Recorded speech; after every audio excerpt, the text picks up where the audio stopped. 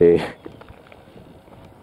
じゃあまあ、ももう置いといて、ちょ、ちょっとだけ、えーここだけ切り取ってやろうかな。ピッってことでね、ここでね、ちょっとね、注目してほしいのがね、330円でこの料金なんですよね。えーさっき、えーど、えーあそこね、えっ、と、近鉄の、えーえー近鉄共用駅の桑名駅から、えーこっちまで乗ってくるのに、えー、1300あ、1630円でしたよね。んせじゃあ、えっ、とね、値段、値段が。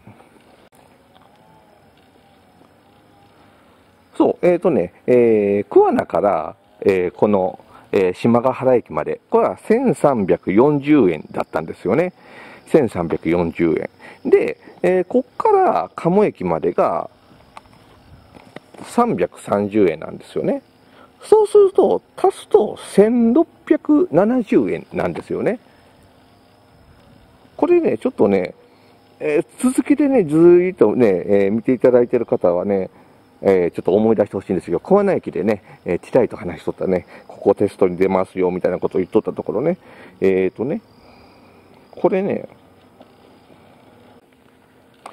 これね、ちょっと最初のところのやつね、ちょっと、えーえー言いますと、これ、カモ、桑名からカモまで直接行くと1690円なんですよ。ところがね、なぜか知んないけどね、なんとこの島ヶ原駅で1回降りて、もう1回初乗り料金を払うた方のが20円安いんですよね。なんかこれ面白い構造で、多分あの、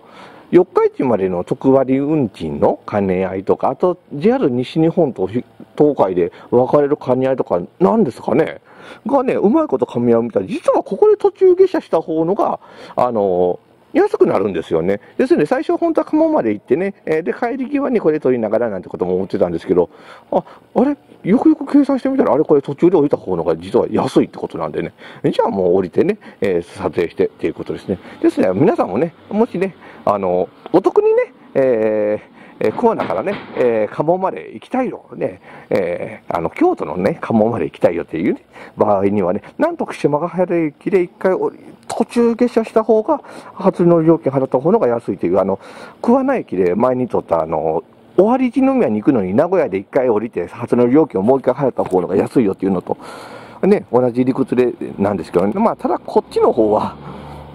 えーそのためには、えー最低1時間はね、えー次の列車を待たないといけないんで、まあ、それほどメリットがあるのかってね、20円のためにじゃあ1時間ね、この島ヶ原駅で、ね、潰すのはね、えー大変かもしれません。けどね、大丈夫かもしれませんよ。何しろね、島ヶ原駅にはいっぱいね、魅力的な街かもしれませんから、私もちゃんと歩いたことないんで、せっかくだからじゃあちょっと見ていきましょう。1時間、時間を潰すのにちょうどいいかもし、